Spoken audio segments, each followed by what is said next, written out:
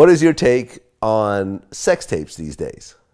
I mean, and kind I, of like how it's become really It's- a thing. you I know, like think a it's the business. mystery. I think it's like the next layer of like uh, TMZ style life of just knowing like everyone just wants the behind the scenes, the behind the scenes, behind the scenes, and and that's just the behind the scenes. And I think people also like the voyeuristic side of it, where it's like, oh, we didn't mean for this to get out, but we were just filming it for ourselves. Like, oh, that's super hot. You know, there's so many different reasons why somebody would be intrigued. Did you see somebody who isn't a professional, um, but is making a tape. How does it look? I mean, was did she look good naked? You've never seen her boobs. Like, oh my God, we get to see her boobs.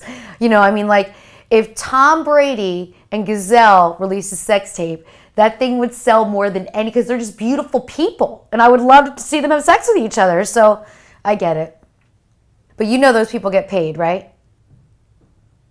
Oh no, I know exactly how it works. You have to sign paperwork. You have to sign paperwork. So hello world out there who thinks that these. gets leaked. but It's not leaked. They have to sign 2257 paperwork for the government. It's the law. You can't just shoot people having sex, not do IDs. And so, just so you all know, your fantasies are foiled.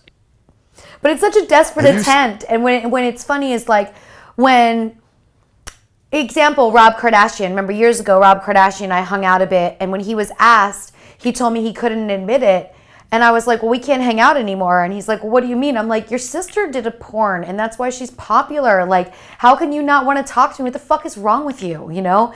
It's just weird how people put a level on it. Like i guess if it leaks out by accident and you sign the paperwork in private and get a bigger check than i do it's okay. But if you're a willing participant of the porn community you should be shunned upon.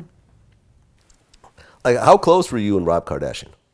You know, we've just started talking again about six months ago. I like to touch base with them because there's a lot of people, uh, a lot of young people in this world that I have a connection with that I some sort of just stay on top of their headspace.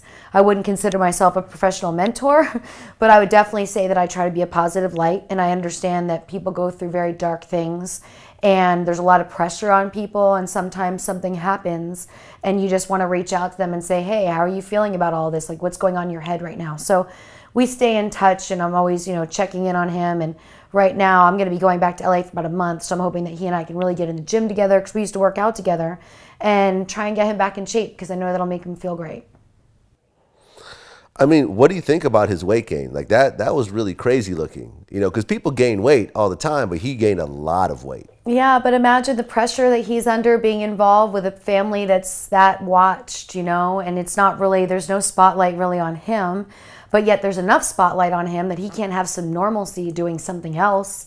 So that's pressure, you know, and I just think that's that's an example of like, hey, no one in his family has noticed that that's out of control and that, you know, he probably just needs just some help or some distance or something. It's that's just another cry for help. Sure, sure. So you think he's going to be able to turn it around, knowing him? We got to hope so. Uh, uh, how did he feel about his sister's sex tape? Because that's really what did make that family famous. You know, we never really talked about it, so I don't know. You know, I mean, that's an interesting thing. I mean, I, I think it's probably easier for a family to accept when there's one and not 500.